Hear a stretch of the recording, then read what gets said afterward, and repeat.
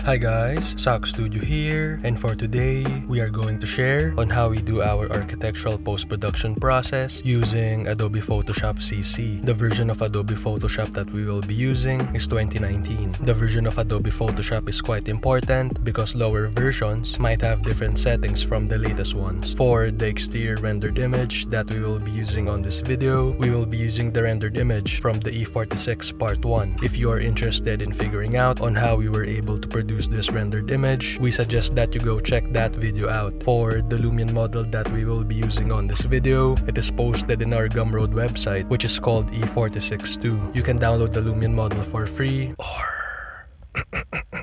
The version of E46 is Lumion 10, so only people with Lumion 10 or higher versions of Lumion will be able to open the model.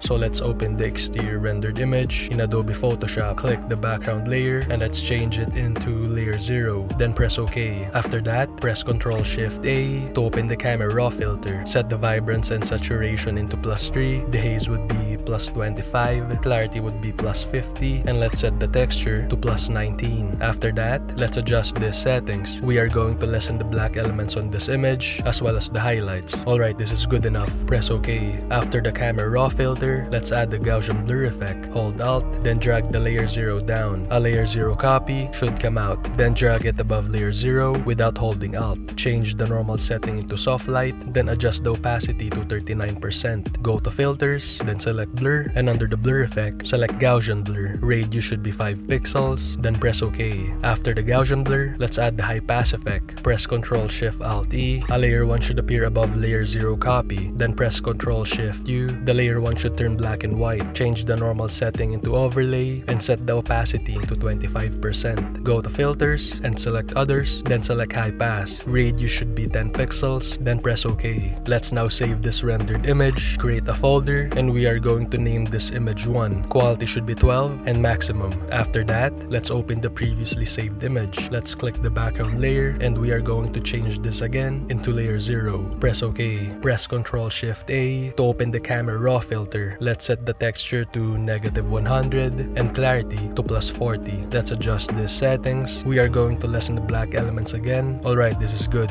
Press OK. After that, we should add a bit of vibrance and saturation. So let's open the camera raw filter again. Press Ctrl Shift A. Let's set the saturation to plus 1 and vibrance would be plus 4. Okay, this is good. Press OK. Let's now save this rendered image. We are going to name this image 2. Quality should be 12 and maximum. And that is pretty pretty much it for the post-production process. Here's the difference between the rendered image with just rendering it with Lumion and after applying the post-production with Adobe Photoshop CC. We hope that you learned something new from this video. Thank you so much for watching and have a good day.